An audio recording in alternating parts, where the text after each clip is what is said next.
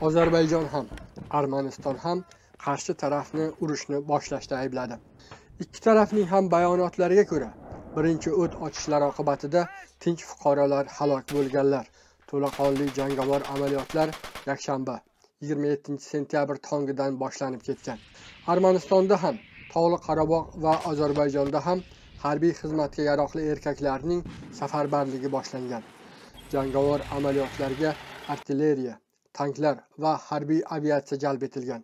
Sssr zamonida ozarbayjon tarkibida bo'lgan tog'li qorabog'da armanilar va ozariylar o'rtasida qonli to'qnashuvlar 1988 yili boshlangan 1994 yilgacha davom etgan urushda ozarbayjon tog'li qorabog' va unga qo'shni yetti hududini boy bergan.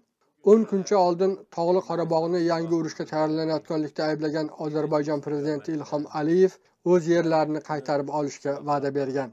Turkiya ozarbayjonni gretsiya armanistonni qo'llab quvvatlash haqida bayonotlar bilan chiqdi.